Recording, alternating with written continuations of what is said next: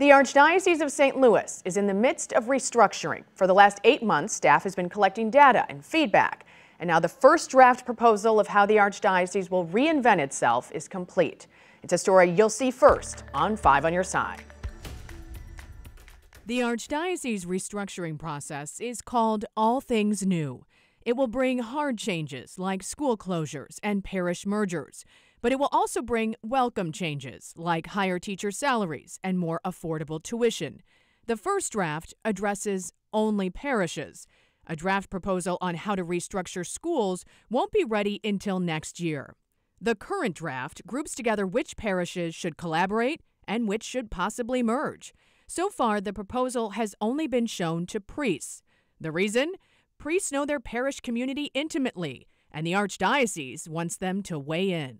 We have 30 pages of written feedback, plus on a daily basis, I'm getting phone calls and more emails from the priest. The draft will be adjusted based on priest feedback. From there, in September and October, the revised draft will be presented to priests and what are called key parish leaders, which are about 1,000 parishioners from around the Archdiocese.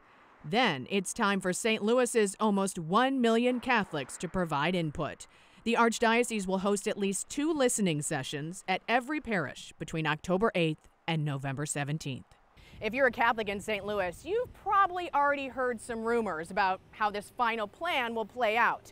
I asked the head of All Things New about all the hearsay, and he said it is all false. There are no plans that have been decided on. I think where the anxiety comes from is that people look around and I think they recognize the struggles that we're facing as a church themselves. So if I'm at a church that's only 20% full on Sunday, if I'm at a school that I know is financially struggling uh, and is half full, and all of a sudden we start talking about vibrancy as a church, I think people just start to get nervous and they start to draw their own conclusions. As far as a plan for what happens to the Archdiocesan schools, that will be announced when the entire final restructuring plan is revealed in May of 2023.